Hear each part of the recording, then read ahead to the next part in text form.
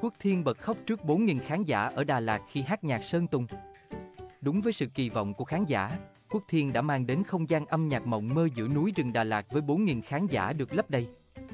Sau thành công của live concert tại Hà Nội, Quốc Thiên tiếp tục mang đêm nhạc đến với Đà Lạt, nơi từng đưa tên tuổi của anh đến gần khán giả với những sân khấu live band. Đúng với sự kỳ vọng của khán giả, Quốc Thiên đã mang đến không gian âm nhạc mộng mơ giữa núi rừng Đà Lạt với 4.000 khán giả được lấp đầy. Đáng chú ý, ở live concert Skinox của Quốc Thiên tại Đà Lạt, nam ca sĩ đã nhiều lần xúc động, bật khóc. Ba lần Quốc Thiên bật khóc trong đêm nhạc cũng là ba lần khán giả cảm nhận rõ ràng tâm huyết và sự chân thành từ anh. Lần đầu, khi sân khấu mở ra với ca khúc đầu tiên, Quốc Thiên không thể kìm nén sự xúc động khi thấy khán giả đã có mặt đông đủ, thời tiết hoàn toàn thuận lợi dù Đà Lạt vừa trải qua 3 ngày mưa. Đó là những giọt nước mắt của niềm vui, sự biết ơn khi anh có thể mang đến một đêm nhạc trọn vẹn.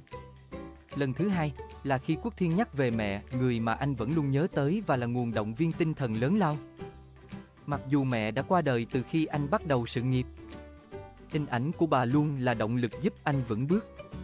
Lần cuối cùng, khi biểu diễn Đừng làm trái tim anh đau, một ca khúc của Sơn Tùng, Quốc Thiên xúc động không chỉ vì tình cảm của khán giả, mà còn vì những ký ức, cảm xúc sâu lắng mà bài hát gợi lên.